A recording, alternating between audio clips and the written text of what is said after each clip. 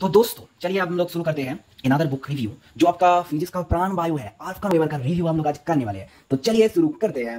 आप लोग जैसे कि देख सकते हैं स्क्रीन में, जो मैथमेटिकल मेथड्स का फिजिक्स बुक है फिजिक्स के लिए बेसिकली फिजिक्स स्टूडेंट के लिए बहुत ही शानदार और आला दर्जे का किताब है।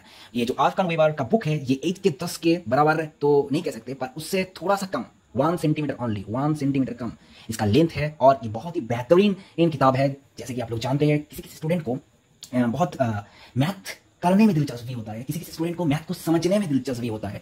ऐसा टाइप का स्टूडेंट होता है जो मैथ में इसका जियोमेट्रिकल इंटरप्रिटेशन को समझने के लिए पढ़ता है मैथ को, और ऐसा भी स्टूडेंट होता है जो मैथ में सिर्फ़ और सिर्फ़ कैसे क्वेश्चन आंसर को अकॉर्डिंग टू रूल ये जो सेंटेंस है अकॉर्डिंग टू रूल इसमें कर सकते हैं। ये सीखना चाहते हैं। जो स्टूडेंट अकॉर्डिंग टू रूल को सीखना चाहता है, किसी को अगर कुछ करना है मतलब मानो एक न्यूमेरिकल दिया हुआ है मैथ में, उसको सॉल्व करना है। अगर कोई स्टूडेंट उसको सॉल्व करने का जो ट्रिक्स है टेक्निक्स है, उसको सीखना चाहता है मतलब उसको रटना चाहता है मतलब बेसिकली सभी रटते ही है। मैथ में ये नाइनटी परसेंट स्टूडेंट होता है जो पूरा रटते हैं और टेन परसेंट होता है जो जियोमेट्रिकल इंटरप्रिटेशन जो जियोमेट्रिकल इंटरप्रिटेशन है, वो समझने की कोशिश करते हैं। तो ये बुक जो है बेसिकली स्टूडेंट को फोकस किया है, जो ज़्यादातर टाइम थ्योरी में बहुत फोकस करता है। ये आप, मान लीजिए आप क्लास ट्वेल्व में पढ़ते हैं और आपको प्रिपरेशन करना है जेई एडवांस की। तो आपको कौन सा लेवल तक पढ़ना होगा? आपको बेसिक टू एडवांस तक पढ़ना होगा? होगा या नहीं होगा? होगा। पर ये बुक बेसिक टू एडवांस तक नहीं जाता है। क्यों नहीं जाता? इसमें जो स्टूडेंट को फोकस किया गया है कैटेगरी में, वो जो कैटेगरी है, वो मिड रेंज टू एडवांस तक जाता है। मतलब मेन टू एडवांस अगर आप क्लास में अभी पढ़ते थे तो ये जो बुक है, ये मेन टू एडवांस के लिए बना हुआ है। अगर जेई मेन का प्रॉब्लम आप सॉल्व कर सकते हैं तो इसके लिए आप परफेक्ट बुक चूज़ किए है। ये बुक मेन टू एडवांस के लिए है बेसिक टू मेन के लिए H K Dass is better और एमएससी एंट्रेंस में जो इंडिया में सारे एमएससी एंट्रेंस जो होता है बेसिकली जेस्ट और टीफर को छोड़कर, जो इंटीग्रेटेड पीएचडी में फोकस करता है, उसको छोड़कर सारे के सारे एमएससी एंट्रेंस में H K Dass is sufficient book जो क्वेश्चन पूछा जाता है, वो मेन लेवल का क्वेश्चन पूछा जाता है बेसिकली जो आईआईटी जेम एच यू ऐसा जो एमएससी एंट्रेंस एग्ज़ाम है, इसमें मेन का क्वेश्चन बहुत ज़्यादा पूछा जाता है मतलब मेन लेवल का क्वेश्चन पूछा जाता है। और ये book main class advance main to advance के लिए बना हुआ है तो जो स्टूडेंट थ्योरी में इंटरेस्टिंग नहीं है, जो स्टूडेंट चाहता है कि मैं एमएससी एंट्रेंस मतलब जल्दी से जल्दी पास आउट कर जाऊँ, जो जेस्ट नहीं देना चाहता, जो टीफर नहीं देना चाहता है मतलब देना चाहता है, पर ऐसा नहीं कि इंटरव्यू बोर्ड में हंड्रेड मतलब हंड्रेड में हंड्रेड ही है। ऐसा मतलब नहीं होना चाहिए दिमाग में कि सारे सारे जियोमेट्रिकल इंटरप्रिटेशन मैथ को समझना है फ्यूर फिजिक्स में इसको अप्लाई करना है, ऐसा बिल्कुल भी नहीं होना चाहिए। अगर ऐसा टाइप का माइंडसेट है तो आप आपका नवीबार को पढ़िए, ये बहुत ही बेहतरीन और आले दर्जे की बुक है। मैं जैसे कि पहले मैं बता दिया हूँ, ठीक है? इसमें वन सेंटीमीटर लेंथ कम है इसके दस से, और इसमें क्या क्या चीज़ है और क्या क्या खासियत है, सब कुछ मैं बताता हूँ। आप वीडियो लास्ट तक देखते रहिए। तो इसमें जो है um, जो एज के दास का जो बुक है, उसमें मैं एक वीडियो किया था। मैं उसका जो विथ है, वो विथ को मैं दिखाया था। अब ये विथ मान लीजिए ये अगर एज के दास की अगर ये समथिंग कुछ है, एक सेंटीमीटर विथ है तो उसमें एक से माइनस टू सेंटीमीटर तक ये विथ भी फॉल किया है। एक बोलते हैं कि बात है, छोटा चीज़ बड़े धमाका। ये ऐसा बुक है, इसमें बहुत कंसेप्ट को क्लियर कर दिया गया है, जो आपके टीचर भी नहीं करते हैं, जो स्टूडेंट पढ़ाकू है। पढ़ाकू मतलब ऐसा नहीं कि जो बुक पढ़ लेता है, हर एक बुक पढ़ लेता है, ऐसा नहीं है जो स्टूडेंट बहुत ज़्यादा थ्योरी में, सोचने में टाइम व्यक्त टाइम को स्पेंड करता है, वो स्टूडेंट के लिए आत्मा व्यवहार की बुक एक अमृत जैसा है। ठीक है? तो इसमें मैं two centimetre X minus two centimetre का इसका विथ है, इसके दस से थोड़ा सा कम है, और इसका जो वेट है, उसको भी मैं दिखाऊँगा कितना इसका वेट है। जैसे कि आप लोग देख सकते हैं, इसका वेट 1.576 मतलब अब 1.6 किलोग्राम अप्रोक्सीमेट इसका वेट है, और ज़्यादा वेट भी नहीं है एच के दस का लगभग 1.78 होगा, जब ठीक से पता नहीं है, पर 1.6 अप्रोक्सीमेट इसका वेट है। और जैसे कि आप लोग देख सकते हैं, इसका पहली, जो पहला पेज है कवर के बाद जो पेज आता है, इसमें ही सारे के सारे बुकों का जो रहता है इंट्रोडक्शन रहेगा, जो का जो भर भर के इन्फॉर्मेशन रहेगा। पर ये स्टूडेंट से कनेक्टिविटी पैदा करना चाहता है और इसका जो ओ, मतलब जो दिखाने का क्वालिटी है इसको एक यूनिक माइंडसेट क्रिएट करता है। देखो कि पहले ही पेज में ये फॉर्मुला सीट प्रोवाइड करता है। ये जो फॉर्मुला सीट है बहुत ज़्यादा इंपॉर्टेंट फॉर्मुला सीट है और ये आपको लगेगा बीएससी एमएससी पीएचडी तक ये बहुत हेल्पफुल फॉर्मुला सीट है। मतलब ये तो लगे सारे सारे फॉर्मुला सीट काम आएगा पर ये थोड़ा सा बेसिक फॉर्मुला सीट है जो आपको वो जानना पड़ेगा। मतलब ये आपको क्या डिनोट कर रहे हैं आप मतलब समझ पा रहे हैं ना? ये आपको बोल रहा है कि जाओ बेटे तुम जाके जेई मेन लेवल तक मतलब एच के दस के बुक को पढ़ के आओ फिर आकर मुझे पढ़ो। इसीलिए पहले ही पेज में इसको इसने फॉर्मुला सीट मतलब फॉर्मुला दे दिया। देखो भाई, ये सब फॉर्मुला तुमको आना चाहिए। अब बेसिक चीज़ है, इस बुक के लिए ये बेसिक चीज़ है, पर एज के दस के लिए ये बेसिक नहीं था। तो इसीलिए मैंने बोला कि ये mid range to advance level तक स्टूडेंट को टारगेट करता है बेसिकली ठीक है, इसमें कोई बात नहीं है। ठीक है, आप अगर बेसिक स्टूडेंट हो, आपका दिल है पढ़ने में, प्यार करते हो, आप थ्योरी पोर्शन को बहुत ज़्यादा प्यार करते हो जिसमें कोई मायने नहीं रखता कि कौन सा ब्रांड का बुक है, कौन सा चीज़ का बुक है, कौन सा टैग लगा हुआ है उसमें। अगर आप प्यार करते हो थ्योरी को तो आप ये कर सकते हो, जैसे कि सब लोग किया है, ये जो बुक का ऑथर है ऑथर अगर ये लिख सकते हैं तो आप ये पढ़ के समझ सकते हो। ये आपका अंदर होना चाहिए जज्बा होना चाहिए कि हाँ भाई, मैं ये कर सकता हूँ, कोई भी बुक आए, मैं इसको पढ़ सकता हूँ, क्योंकि मैं थ्योरी को, और छोटे छोटे से टाइम से ही मैं छोटे जब थे, तभी मैंने थ्योरी को डेवलप करने स्टार्ट कर दिए थे तो मेरे मेरे पास एक्स्ट्रा थ्योरी है, जो बाकी के पास नहीं है तो फिर ये परफेक्ट बुक है। आपके लिए परफेक्ट होगा। फिर इसके बाद वाले पेज में देखते हैं। इसमें लिखा हुआ है मैथमेटिकल मेथड्स फॉर फिजिसिस्ट इसमें फिजिसिस्ट को लिख दिया गया है। फिजिसिस्ट कुछ नहीं होता है। आप स्टूडेंट हो, आपके लिए बुक प्रिफरेबल है, बस खत्म।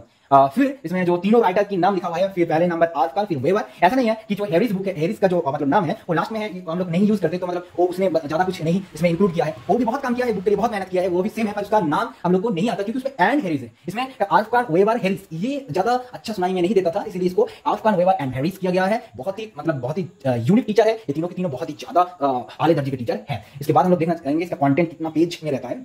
जैसे आप लोग देख सकते हैं, इसका जो कंटेंट है मैथमेटिकल प्रीलिमिनर्स जो पहले बेसिक नॉलेज था, मैंने बोला था, इसके का जो कॉन्सेप्ट है मतलब इसके में जो आप लोग सीख के आए हो, और वो चीज़ और और चीज़ सारे सारे one to eighty two page तक है। मतलब आ, पहले तो इसको बेसिक को एक क्लियरली रिवाइज कर दे रहा है आ, आपको बेसिक को क्लियर करेगा। फिर इसमें डिटर्मिनेशन मैट्रिक्स देख सकते हैं 83 टू 83 टू 121 में लगभग 40 पेज तक आपका डिटर्मिनेशन मैट्रिक्स है। और ये जो बुक है मैं आपको बताना चाहता हूँ इसमें फिजिक्स के लिए बहुत ही ज़्यादा इंपॉर्टेंस दिया गया है। इसमें फिजिक्स का जो एग्ज़ाम्पल है इसको कर दिया गया है। मतलब हर एक चैप्टर में फिजिक्स का जो जो मतलब लगेगा मैं अभी दिखाऊँगा। और अभी आप एग्ज़ाम्पल देखेंगे तो आप चौक जाएँगे कि कैसे एक एक मैथमेटिकल मेथड्स का जो बुक राइटर है कैसे सोच सकता है हम लोग इलेक्ट्रॉनिक्स में क्या पढ़ रहे हैं वो चीज़ कहाँ क्या पढ़ाई जाता है है ईएमटी e का जो पोर्शन है, वहाँ पर हम लोग जो यूज़ करते हैं इक्वेशन वो सारे के सारे इक्वेशन कैसे सॉल्व करना है? अगर मान लो आपकी डिफरेंशियल इक्वेशन हम लोग कर रहे हैं ईएमटी e में कुछ ऐसा क्वेश्चन आया जिसमें डिफरेंशियल इक्वेशन लेकर हम लोग को सॉल्व करना होगा। तो ये क्या करता है? ये जो बुक है इसमें वही क्वेश्चन आप लोग सोचेंगे कि मैं टीचर को जाकर पूछूँगा ईएमटी टीचर को पूछूँगा, सर, ये कैसे किया आपने? ये कैसे हो गया? मैं ये सॉल्व नहीं कर पा रहा हूँ। आपकी तरह मैं सोच नहीं पा रहा हूँ। तो इसीलिए ये जब डिफरेंशियल इक्वेशन का जो चैप्टर आएगा, उसमें एग्ज़ाम्पल में वही वाला जो ईएमटी वाला क्वेश्चन है, वो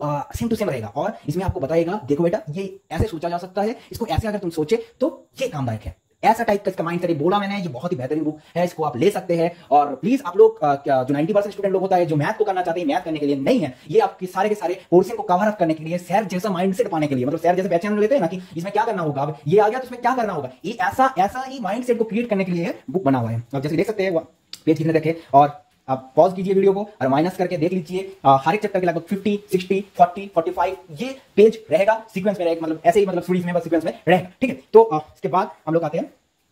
देख लीजिए पेज कितना ज़्यादा है इसमें पेज कम नहीं है वन वन एट वन मतलब इसमें last page one one eight one है। इसमें थोड़ा सा स्टूडेंट के लिए लिखा हुआ है। अब मैं पढ़ना नहीं चाहता था तो आप देखेंगे ज़्यादातर जो फ़ोन का रिव्यू होता है, उसमें बोल देता है कि जैसे कि आप लोग जानते ही है टेक्निकल गुरु हो गया, फिर बार हो गया, बहुत सारे चैनल है, उसमें बोल देता है, ये सारी इन्फॉर्मेशन पढ़ने के लिए नहीं, ये फेंक देते हैं जैसे नहीं पढ़ते, पर ये बुक है भाई, आप पढ़ने के लिए लेते हो, ये ऐसा नहीं है कि आप यूज़ करने के लिए तो ये कोई टूल्स नहीं है, ये टूल्स है टूल्स बनेगा, आपका टूल्स बनेगा, जब इसका सारे के सारे सारे जो थ्योरी है वो आपके माइंड में आएगा, तब ये टूल रहेगा अभी तो आपके लिए बुक है, जब तक आप स्टूडेंट रहेंगे, ये बुक को पढ़ेंगे और नया नया सीखेंगे, तब तक ये बुक है उसको पढ़ना ही है तो टू स्टूडेंट में क्या लिखा हुआ है, आप लोग देख सकते हैं, कि लिखा हुआ है कि The mathematics, uh, the mathematics presented in this book is of no use if it cannot be applied with some skill and the development of that skill cannot be acquired passively.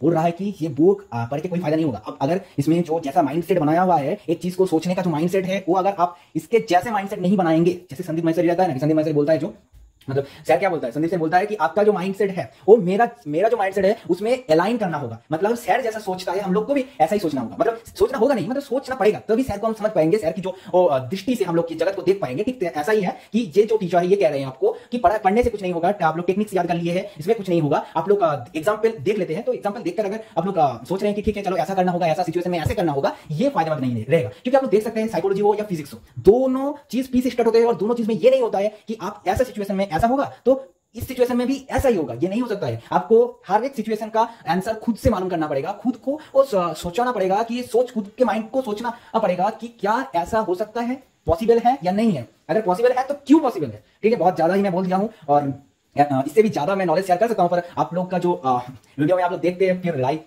भी नहीं करते subscribe तो मैं नहीं बोलता हूँ, क्योंकि subscribe एक यूट्यूब चैनल को तभी किया जाता है जब वो रेगुलरली और कुछ हफ़्ते बेसिस में कुछ कैलेंडर वाइज वो वीडियो प्रोवाइड करता है, जो आपके लिए हेल्पफुल है। वो, वही चैनल को आप लोग सब्सक्राइब कीजिए। मैं तो मतलब साल में एक दो बार वीडियो पोस्ट करता हूँ। मैं ऐसा रेगुलरिटी नहीं रखता तो बट मैं कहना चाहता हूँ लाइक तो कर सकते हैं कमेंट भी कर सकते हैं। ये आपका मर्ज़ी है, करेंगे या नहीं? ठीक है, चलिए टू द स्टूडेंट में क्या बोला है? The mathematicals mathematics represent presented in this book is of no use if it cannot be applied with some skill and the development of that skill cannot be acquired passively passively इसको acquired नहीं कर सकते। आप अगर चाहते हैं कि sir बता दीजिए ना ट्यूशन टीचर के पास चले गए प्रोफेसर के पास चले गए। सर ऐसे आप कैसे सोच पा रहे हैं? मुझे भी बता दीजिए ना। कुछ ऐसा चवन क्लास नहीं है कि आपको मतलब गोल कर पिला दीजिएगा तो ये हो जाएगा। ये ऐसा चीज़ नहीं है। इसको समझने के लिए आपको खुद को ही प्रयास करना पड़ेगा। ये इसमें बोला गया है, मैं ज़्यादा नहीं पढ़ूँगा, क्योंकि वीडियो बहुत लेंदी हो जाएगा। तो तो यही रहा है, इसमें बोला गया है, इसमें और एक चीज़ ध्यान से बोला गया है, अगर आपके पास प्रोफेसर नहीं है, अगर आपके पास कोई ट्यूशन टीचर नहीं है, अगर आपके पास बड़े भैया नहीं है, जो बहुत ही बहुत ही काम आता है, जो ब्रदर रहता है लोग बहुत अच्छे होते हैं तो अगर ये नहीं है तो आप प्लीज़ कृपया करके इसका एक्सरसाइज का पोर्सन में टच नहीं कीजिएगा। इसमें साफ़ लिखा हुआ है, आप एग्ज़ाम्पल कीजिए, दो बार, तीन बार एग्ज़ाम्पल कीजिए, आप देखिए। एग्ज़ाम्पल में जो माइंडसेट है, वो आप में कितना क्रिएट हुआ।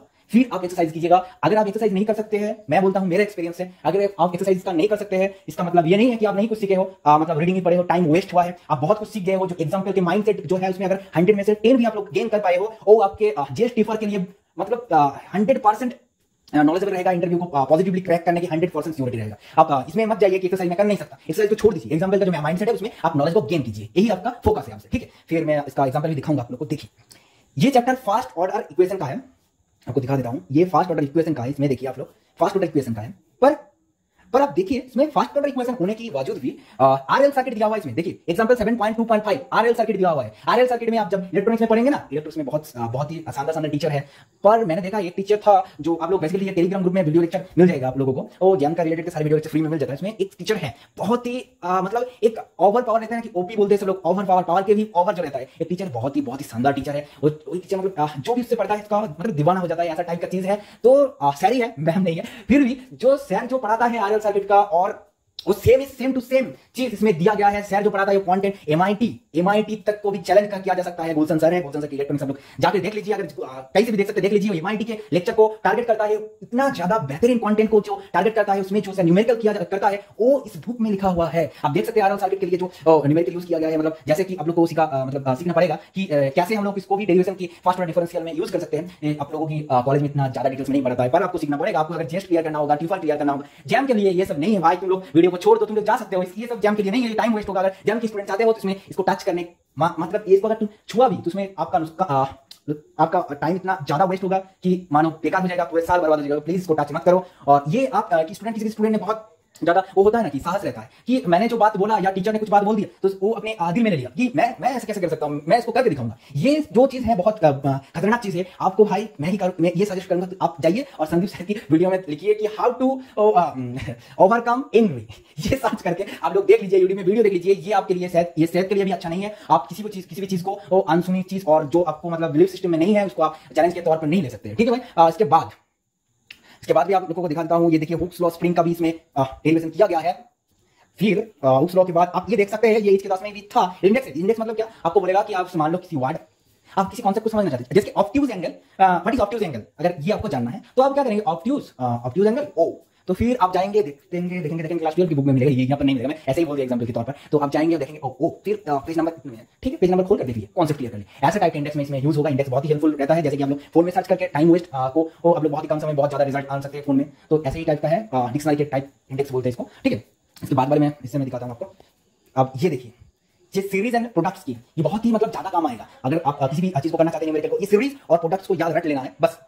ओवरऑल मेरा जो एक्सपीरियंस है आउटकम को लेकर अगर आप जे टीफर देना चाहते हैं, अगर आप नेट गेट के स्टूडेंट हैं तो ये तो आपके लिए है ही है, वो तो छोड़िए। पर अगर आप नेट जस्ट टीफर का एग्ज़ाम देना चाहते हैं तो ये बुक आपके लिए एक अमृत जैसा दवा है, ये आप पढ़िए। पढ़ के कुछ समझ में आया या नहीं आया, ये मत सोचिएगा। बस आप थोड़ा सा स्टिक होकर थोड़ा सा पैसन रखकर ओनली पढ़िएगा। बस थैंक यू वेरी मच इतने टाइम और सॉरी फॉर ज़्यादा बात करने के लिए, थोड़ा सा हिंदी मेरा खराब है। आशा करते हैं आप लोग समझ पाए और मेरा जो साइसन है वो मैंने दे दिया है। आ, दे दिया हूँ मैं। और मेरा जो हिंदी थोड़ा सा प्रॉब्लम होता है क्योंकि मैं वेस्ट बंगाल से वो आप समझ ही पा रहे हैं मेरा हिंदी में थोड़ा सा प्रॉब्लम है। ठीक है भाई।